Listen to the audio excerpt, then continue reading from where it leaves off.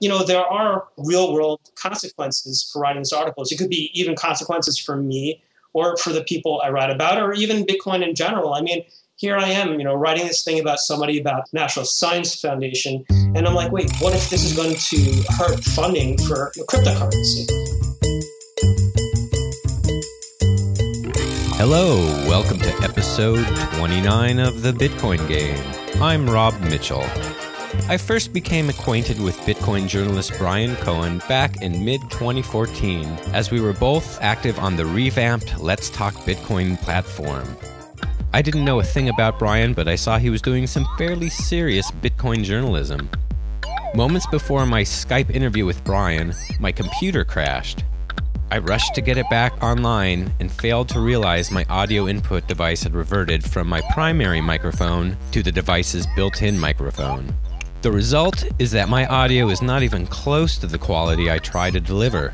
So I apologize, and I need to research why my USB bus keeps locking down on me every few days.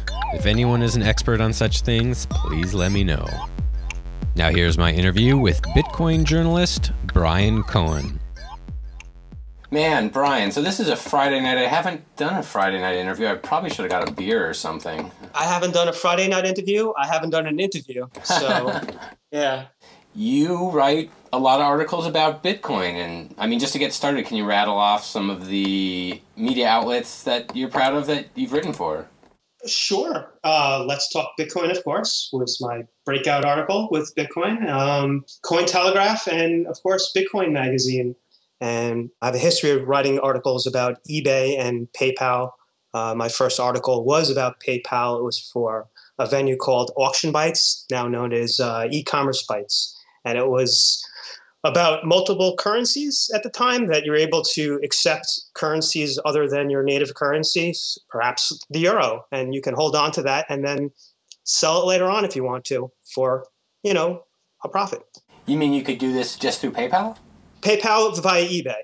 PayPal was like ingenious. I, I, you know, that's probably where I got my start with eBay. Really, was back in like 1999 or so. I thought it was totally amazing. When did PayPal first launch? 98, but the way it is now, you know, probably like 99 or 2000. What got you into writing articles? Uh, in- my interest is e-commerce. You know, I, I thought it was kind of really cool. eBay um, is, I guess, what what kicked it off um, I thought it was really cool that I can buy and sell things to people all around the world. Just, you know, I was there sitting in my apartment in Queens and shipping things to people in Europe, Australia, what have you. I was like, wow, this is amazing. I could have an international business and I'm just here sitting in my apartment in Queens. I was an eBay trading assistant. I would sell like art and antiques for people. That was cool. That was fun. I met some interesting people. So that got you interested, but what actually got you writing? Writing is one way of me learning about whatever it is that I'm I'm trying to understand. So I, I, don't necessarily go into the articles knowing everything that I just wrote about. It's a learning experience, you know. It's what is it? Heuristic. I like to try and research it, write it, feel it out. In fact, you know, my early articles about Bitcoin, I had never even used Bitcoin. I didn't even download the Bitcoin client. Um, that that article, users Bitcoin seized by DEA for Let's Talk Bitcoin. That was the first blog post on Let's Talk Bitcoin you know the breakout article. I really didn't even know there was a bitcoin protocol that it was decentralized. I hadn't even downloaded the bitcoin client at that point. So you definitely own no bitcoin at this time i didn't even own any bitcoin at this time. It was through tips from that. And i said wow you can get tips over the internet just like that it was totally amazing experience you're saying this was the very first post on the Let's Talk Bitcoin site, or when they kind of yes, as as a blog post. I mean, he had um, podcasts prior to this, and you know, I reached out to Adam. Actually, I reached out to another venue before this, and I said, "Hey, this is you know what bitcoins look like when they're seized." And this, I kind of knew, like you know, that theoretically bitcoins weren't supposed to be able to be seizable. I didn't really know why at the time. And I said, well, you know, this is something that's very interesting because I knew there was a lot of friction between Bitcoin and government. And I was very interested in that. And I tried to track that. And I said, wait, this is not supposed to be possible. And nobody has written anything about this. Let me just kind of put some feelers out there and see what people think about this. I had written an article that I try to shop around, and it was about BitMit, which was like the eBay of Bitcoin. and I was kind of, you know, disappointed that nobody really seemed interested. It, it like it wasn't really for e-commerce sites because Bitcoin at the time was a little bit too edgy.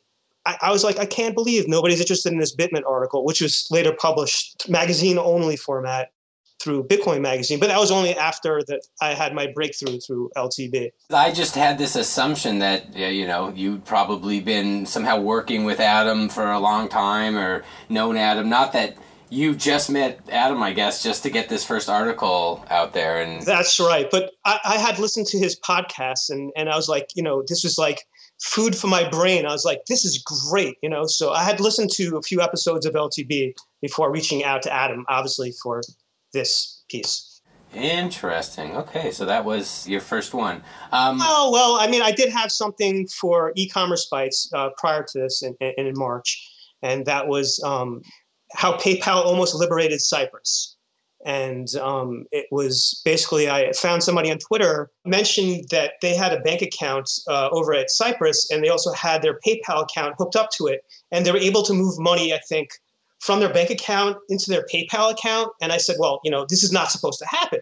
And I also had read um, Jackson's book, uh, The PayPal Wars, and, and I kind of knew that PayPal, the original idea behind this was very similar to Bitcoin, that this was a way to liberate people out of their native currency during a currency crisis. Talk a bit more about that book because I, I, don't know anything about it. Eric Jackson was one of the founders of PayPal, and uh, you know what? Let me just pick up that article, how PayPal almost liberated Cyprus, and just see have a quote there or something. Let's see from uh, Eric M. Jackson's book, The PayPal Wars, published in 2004. He described how PayPal may have played out in this type of situation. In the future, when we make our services available outside of the US and as inter- penetration continues to expand to all economic tiers of people, PayPal will give citizens worldwide more direct control of their currencies than they ever had before. It'll be nearly impossible for corrupt governments to steal wealth from their people through their old means because if they try, the people will switch to dollars or pounds or yen, in effect, dumping the worthless local currency for something more secure. It was this potential that made the Confinity's or PayPal's vision. PayPal was originally called Confinity, and I think they were called uh, X.com, or they merged with X.com. Anyway, their vision of world domination, which might have been more appropriately called world liberation, all the more credible. And it goes on and on. But this is one of the early guys who are there with PayPal, and that's his book. That's interesting. I think I'd heard some talk that PayPal was kind of more like Bitcoin at the beginning. If you go to the Federal Reserve website, you'll see that they had lots of meetings with, with PayPal way back when, and I'm sure they kind of uh, kind of cooled things down a little bit there you basically started by writing that, that Let's Talk Bitcoin article. And how did you break the story about uh, the government seizure?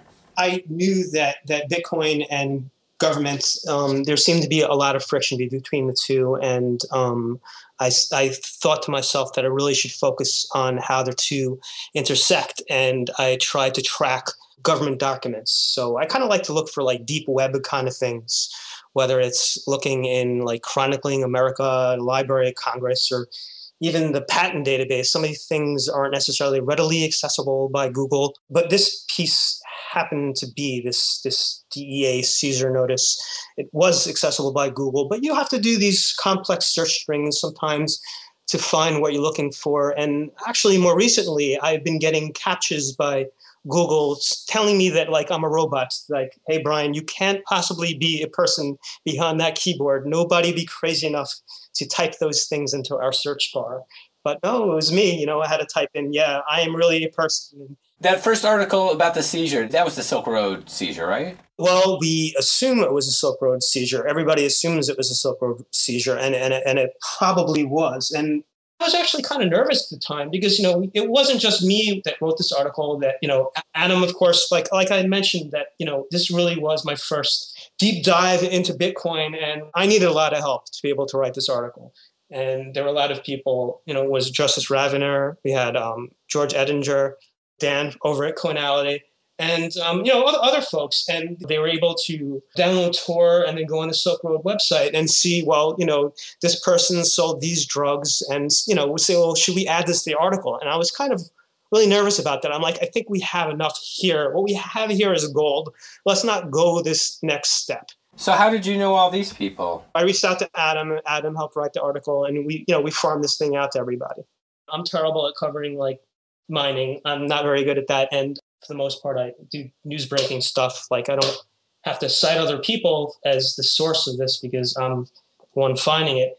In any case, uh, it was the National Science Foundation, the um, scientist who was using a supercomputer to mine for bitcoins. And so it was uh, what Ruben Alexander, the editor over there at Bitcoin Magazine. I said, you know what, maybe I need to bring you on board here because it's a little out of my depth sometimes with with mining. That said, you know, you know, it was it was a fun article to write. this guy is using a supercomputer to mine for Bitcoin. So this guy was trying to make some bitcoins, not do a research project. That's right. That's right. And you know, sometimes some of these articles makes me a bit anxious. I'm writing about the government, and these are things that like I I like to call them what open secrets because it's like if I don't find this needle in a haystack, there's a good chance that somebody else is not going to report on this, and that you know there are you know real world consequences for writing these articles. It could be even consequences for me or for the people I write about, or even Bitcoin in general. I mean, here I am, you know, writing this thing about somebody about National uh, Science Foundation, and I'm like, wait, what if this is going to hurt funding for cryptocurrency? No, that's not the case. You see lots of cryptocurrency projects that have been funded recently.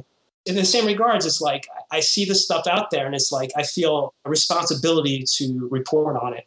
But you know, again, some of these government articles, it's like, sh- should I be writing about this? I'm like, well, I found this. I mean, I could pass it on to somebody else is there anything you've just decided, now nah, I don't, this seems too scary? I guess in that regards, I've actually been asked not to write articles. And it's not because these people did anything wrong. It's like that I find out stuff about the company and it seems like I know too much. It's like when I write these patent articles, like with Coinbase, I know if I reached out to Coinbase, they're going to have this anxiety about talking about their IP. All right. And they might take a few days to get back to me. And in a few days, also, even if they do get back to me, then somebody else might break the story or they might not bother getting back to me. So you broke the story that Coinbase had filed some Bitcoin patents. Yeah. But I mean, and like other people have pointed out to me as well, hey, this is just, you know, information that's in the public. But I just want to say that, I mean, your article stirred up, you know, a lot of discussion about that. There's this this this balance like companies don't like talking about their IP. I have reached out to people before and asked them about their IP, and they don't get back to me. What is the Suey Bitcoin? I'm going to let you guys in on a little something I don't talk about much. For the first 25 episodes of the Bitcoin game, I believe I was tipped the equivalent of about $12.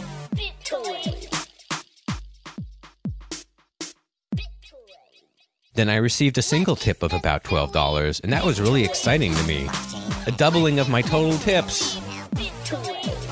But then I had John Barrett on and discovered that listeners had tipped both John and I each over $100. I sincerely thank everyone who has ever tipped, even the smallest amount. But when you start tipping at that bigger level, you really do give an additional incentive for us content producers to keep going. Want to know another way to keep content producers from throwing in the towel? Advertise. If you have a business, your advertising spend is a tax write off. It benefits your business with a marketing message, and it directly supports a content creator. If you have a business, buying an advertisement is a much more logical way to support a content creator than sending a tip, because you reap a benefit too. So while tips are great, if you've got a Bitcoin business, advertise get something out of it. Actually, it's funny that uh, stories that came out this week that I wrote, or I guess this past week, it was the PayPal cryptocurrency PayPal reputation token and their blacklist. And I knew that eBay had filed for the patent. You know, it's a patent application. You haven't been granted the patent yet. But I looked at it and I saw what they were talking about, and it was PayPal this and PayPal that. And I looked at who the inventor was, and he worked for PayPal, not for eBay. I said, oh, you know something? This has probably been reassigned to PayPal. And I'll just kind of talk about that. But, and, and that's how I kind of wrote the article. I'm like, okay, it's probably belongs to PayPal for these reasons. But then, you know, it's seldom do I actually have to even dig deeper and I probably should have that there's this database at the patent office called PAIR, um, and that it, you could see correspondence. And so I was reminded of that after I saw people do follow-up stories, um, and they had, for the most part, everybody said eBay, you know, filed for this patent application, and look what eBay is doing. But no, that's not the case. If you go and look at PAIR, um, it shows that it was reassigned this past July to PayPal from eBay. I, I knew it was an eBay patent, but I just, you know, it skipped my mind. And if, if somebody's going to do a rehash of the article, they might as well add a little extra flavor of their own. And it's too bad that someone didn't catch on. I think we've talked about this before that, you know, about the, the hat tip and what, what a hat tip is. You know, you're walking down the street, you, you tip your hat. It's just a way of acknowledging the person down the street that, hey, how you doing? And um, you know, this is something that I've tried to work on with other Bitcoin media outlets. That hey, you know, I've broken a story here, and I see that you covered it also. I, you know, I don't think that your venue would have covered this story had I not published my article. You know, would you be kind enough to give me some attribution for this? You know, you really can't. You can't copyright facts or even fake facts, right? So it's not. It's not like plagiarism if I go and I break one of these stories like from the patent database. It's not like somebody has to go and credit me on this. But in some regards, you know, I, I've taken the time out of my life. Oh my God, you know how much time I've taken out of my life doing research on Bitcoin. And, you know, to, to find some of these things sometimes it takes a lot of work. And then somebody goes and just snatches it out from you and publishes an article about it. It's like, that really sucks. I was wanting to ask you about that. I get a lot of news just by scrolling through my ZeroBlock feed and I'll see an article that seems to be an original article, and then for hours and days afterwards, I'll see other sites basically regurgitate the original article, and it just seems so annoying. You get to be the first hand person who suffers from that, so that must happen almost every article, right? It does happen a lot of articles, and you know what I'm really hoping happens one of these days that you that these articles are kind of embedded in the Bitcoin blockchain so that they have like a timestamp. And it'd be super cool too. I mean, I'm sure somebody's going to do this too, that you have like a snapshot of the Bitcoin price at that time that the article was published. Kind of say, you know, here's a snapshot of the minute this article was published, this was what the Bitcoin price was. And this is exactly when it was published. I mean, that's nice and all, but I mean, even now with the tools of Google and stuff, I mean, I think it's people aren't trying to backdate their articles to look make it look before yours, are they? Oh no, no, no, not. So it's clear. It's clear who's first and who's copying, right? If you look, if you make an effort to to search it out. I, I don't think it's that clear. Especially, a lot of people are going through Google News, and that what'll float to the top, it'll say what's most cited, and what's most cited it wasn't necessarily what the first article was. For sure. Um, I just, as someone who looks at ZeroBlock several times a day, and you know, I feel like no headlines at least escape my eye that I just get so annoyed seeing, you know, clearly someone broke an article a day or two or a couple hours ago, and then clearly you're just pretending like this is your article, you know, rewritten, but it's obviously you read this and then you wrote this article, and it's it's kind of lame. Eh, maybe it's not ethical. Maybe it's maybe we'll just say it's lame. Well, I, I do think there, people notice. Do they have to? I notice there's some sites I just notice. Hey, these are the sites that almost always do that, and these are the sites that don't seem to do that as much. And I mean, I guess it's not black and white, but it's not plagiarism. It's it's not you know like a copyright problem. It's just I guess the ethics of, of, of the media outfit. Today's magic word is reporter. R E P O R T E R. Use the magic word to claim your share of this week's LTB Coin listener reward on letstalkbitcoin.com. You have one week from this episode's release date to claim the magic word. It felt to me like suddenly you disappeared from the Let's Talk Bitcoin scene and the forums and everything. Um, yeah, I did take a break. I was in the process of moving. So I moved from Brooklyn to Brooklyn. I just had to regroup and needed needed a break. It was also at the, that time it was Mike over at CoinFire um, had reached out and he's like, you know, I'm I'm doing this article on uh, gold miners. You think you want to get involved? I was getting super nervous about that one. Did you get involved? I said, no, I think I'm going to do a pass. I'm gonna do a pass. I want to stick with Bitcoin. This seemed kind of superficial to me. You know, I know they were listed on Coin Market Cap and what not for a while, but uh, it, it didn't seem like a decentralized currency to me. I didn't know what it was, and what I was hearing didn't sound good. And I just said, I think I don't want to get involved. And uh, he went through a lot of trials and tribulations with that one. And you know what's interesting also? Did you know? Did you go visit the site recently, CoinFire? Not recently, no. If you go to coinfire.o right now, it redirects to what is it, 99 bitcoins, because he sold to those folks. He passed on the torch. You haven't published anything to Let's Talk Bitcoin uh, for a while, right? Yeah, I haven't. I kind of see this as one way of me participating. LTB right now is speaking on the, the Bitcoin game. So um, I, you know, I, I, I, see myself doing some articles in, in, the future. I have I have a couple in mind um, specific some anniversary dates coming up uh, later next year, something to talk about. So we'll, we'll see how that goes. Well, let me ask you this: these other outlets you write for, how much LTB coin do they pay? oh yes, they don't. They don't. So yes, I need to need to get that LTB coin. That is true. They that pay. True. They pay in a different type of token. What? How do they pay? Well, let's see. In Cointelegraph, they pay in BTC and um, I'm still trying to learn the process there. I am still relatively new um, there, although I did churn out a few articles. It is based on your social media interactions, which is kind of cool. So it kind of almost feels like you can get royalties, like residuals, that if people are looking at your articles in the future, that you can get a little Bitcoin for that, and they pay out once a week. How much can you game that by telling all your friends to retweet your stuff? I do wonder. I do wonder. I just did one article so far this year for Bitcoin Magazine after it, you know, it, it changed ownership um, around, what is it, January this year. And so I'm just, I'm being onboarded right now with the payout process with that. They use Bitwage or something like that. So we'll see how it goes. Part of the irony of, of me like loving Bitcoin and the supposed frictionless Bitcoin that's out there. That if you are a writer and you do everything right, like especially like a Bitcoin magazine, you got to fill out, you know, what is it, W nine form and ten, and you're emailing everybody a social security number and such. It's like, holy cow! I thought you know Bitcoin's supposed to be frictionless, but if I want to get paid in my Bitcoin, I'm giving over my social security number to everybody, and who knows where, you know, it traverses so you write articles about things, but I have no idea if you have like opinions or thoughts about, let's say, something that's like like the blockchain alliance. I guess superficially. I mean, I just think it's interesting the, some of the things that Andreas M. Antonopoulos had said, and, and Bruce Fenton, and they're just you know hesitant to interface with government, and you know comes back to like what happened to Charlie Shrem because it said that like he had reached out to government to try and work with them, and then they handcuffed the guy and put him in the slammer. So it's this same kind of thing that's going to happen. I mean, who knows?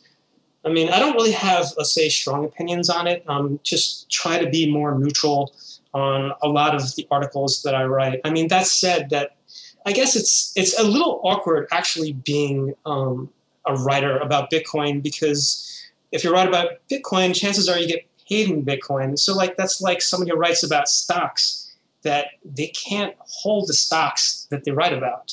I've kind of taken the opinion that listen, if I'm writing about Bitcoin, I don't really have to mention that. I think I have mentioned a website. If not, I, I probably should. Um, I'll be putting up there shortly if I don't already. There's a lot of ways to look at it, though. I mean, you're getting paid in what could be seen as a currency. You could yes. be cashing out of it right away. That is part of Bitcoin, though, that everybody involved is a stakeholder, and that's, I think, part of the success of Bitcoin. Absolutely, absolutely. But, you know, that said, I think it was it, it, Timothy B. Lee. Um, he's he's a writer, and uh, that he said, "Hey, you know, I'm gonna start holding Bitcoin now." And then there was, you know, repercussions for that. That they kind of his his folks that wrote for said, "You know what, we can't go through with this." And so he had, I don't know if he had to sell his holdings or if he had them. I knew there was something about that. And, and I know it was, I think, one of these uh, Wall Street Journal guys. And, you know, I was trying to be cute at the time. And I had, uh, I think I was, I logged on to ChangeTip and I, I, I tipped him like, you know, whatever, Satoshi. He's like, was that you? You know, it's the same regards. Like these guys that, like something like you're writing for the journal, you, you can't be holding Bitcoin and then probably writing about it at the same time. What's uh-huh. interesting though is, uh, I mean, to me, like a lot of learning about Bitcoin is just trying to be hands on with it. Yes, yes. to be honest, I don't think that I'm that good of a writer. Um, I'm not a good writer, to be honest. Um, I'm a good researcher and I have very good, interesting topics to write about, and I find really good stories. I break the news. But I would like to be able to be more creative, and I just feel this energy, and I hope that I can get um, be a better writer, and not just a researcher. I hope everyone will keep their eyes open as I do, um, or I try to. When you read an article, look who wrote it, and you'll see Brian's name sometimes. Where should people go if they want to get more information about what you're doing? The best place is probably my website, which is bitsofthis.com. B I T O F T H I S as in Sam.com. Great, Brian. Well, it was good to finally talk to you in person. Be well, Rob. Cheers. Bitcoin. Thanks so much for listening to episode 29 of The Bitcoin Game. I really do apologize to Brian for several things that I feel were not up to snuff. But it was great to finally talk to Brian, and I do like having guests on sometimes who haven't been interviewed before and who aren't really pitching a product. Brian has shown that you can make a mark in Bitcoin without even knowing much about it when you get involved. Please let me know what you thought of this episode by commenting in the show notes or sending me a message on Twitter at the BTC Game. You'll find all episodes of the Bitcoin Game at thebitcoingame.com. See you next time.